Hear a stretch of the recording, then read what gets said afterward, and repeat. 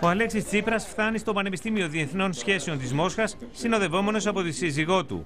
Φορώντας παλτό και ένα γκρι κασκόλ, χαμογελαστή και ευδιάθετη, η Μπέτη Μπαζιάνα τραβάει τα φλά των φωτογράφων. Η ιδιαίτερα κομψή η σύζυγος του Πρωθυπουργού συνοδεύει τον Αλέξη Τσίπρα σε κάθε του βήμα στην ρωσική πρωτεύουσα.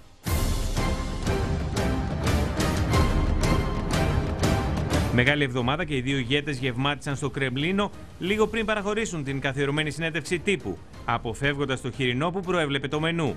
Προτίμησαν να φάνε πατζαροσαλάτα, μανιταρόσουπα από τα σπάνια μανιτάρια μορχέλα, ψάρι οξύριγχος από την Κασπία θάλασσα, μαύρο χαβιάρι, σορμπέ και παγωτό σοκολάτα, ενώ ήπιαν λευκό κρασί του 2012.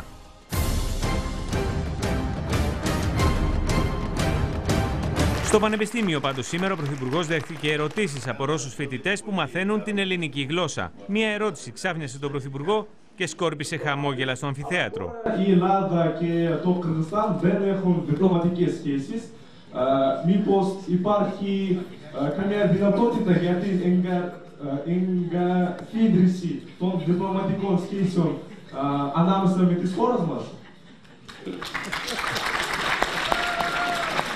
Μετά από αυτή την, ε, την παρουσία που μας ε, γέμισε χαρά, να βλέπουμε ε, να μιλάς τόσο καλά την ελληνική γλώσσα, μπορώ να σου υποσχεθώ ότι μόλις φτιάξουμε προξενία θα είσαι ο πρώτος Έλληνας πρέσβης εκεί. Ο Αλέξης Τσίπρας δεν παρέλειψε να ανεβάσει στον λογαριασμό του στο Twitter φωτογραφίες από την επίσκεψή του στη Μόσχα. Στο Ινστιτούτο Διεθνών Σχέσεων της Μόσχας συζητήσαμε με φοιτητές και φοιτήτριες. Μια ιδιαίτερη και ενδιαφέρουσα εμπειρία. Χθες ο Πρωθυπουργός συνάντησε σε θερμό κλίμα προέδρους και μέλη της ελληνικής ομογένειας στη Ρωσία. Ανάμεσά τους και ο πρόεδρος του ΠΑΟΚ, Ιβάν Σαββίδης. Ο Αλέξης Τσίπρας δεν αρνήθηκε σε όσους του το ζήτησαν να φωτογραφηθεί μαζί τους.